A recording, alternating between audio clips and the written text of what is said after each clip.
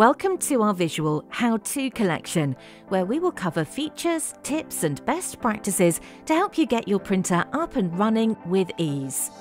In this video, we will cover how to set up your Epson printer at home.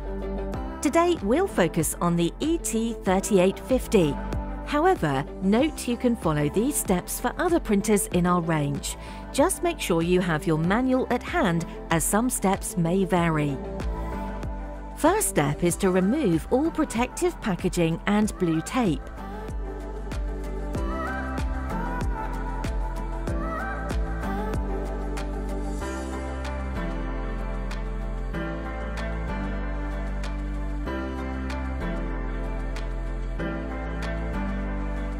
Now lift scanner bed, allowing the mechanism to capture and hold the scanner bed in place.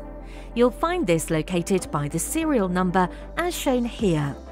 If you have a foam pad here, please remove as well as the blue tape.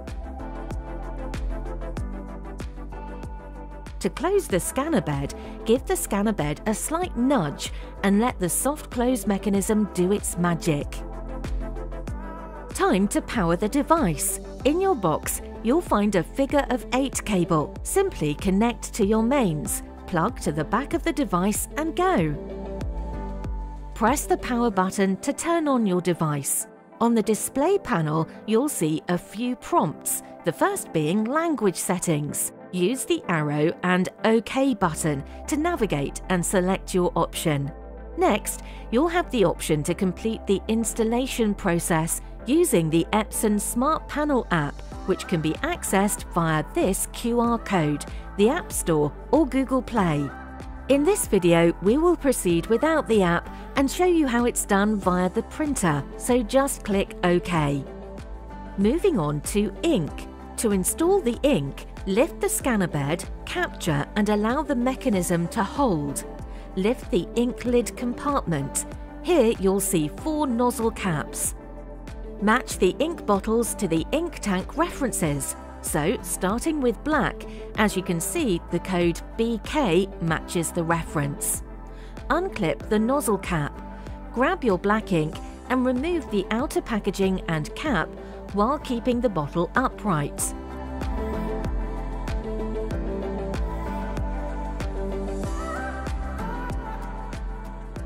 Now insert the ink bottle into the filling port the ink will start pouring and automatically stop when the ink reaches the upper line. Not only can you see this, but you can hear it too. Once complete, pull out the bottle. Click OK to proceed and close nozzle cap. Now repeat for each colour, cyan, magenta and yellow.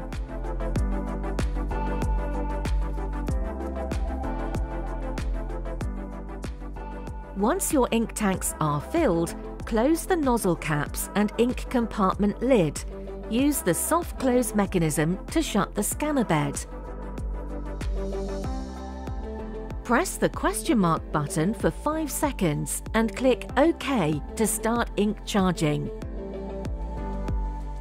Before we move on to the next steps, here's some of our top tips for ink installation. 1. Don't squeeze the ink bottles. 2. Ink may remain in the bottle. You can save this and use for a later time. 3. Match the ink colour with ink tank references. 4. You can recycle your empty ink bottles.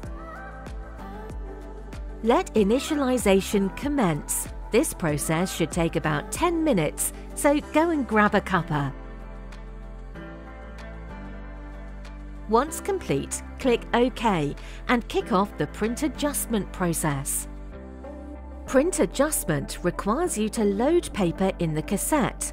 For the ET3850, the cassette or paper tray is located here. Please note the location of the paper tray varies between each model.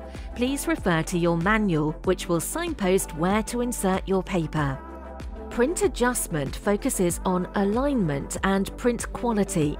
As part of this process, a few documents will be printed and you need to select your answer based on the prompt on the display screen.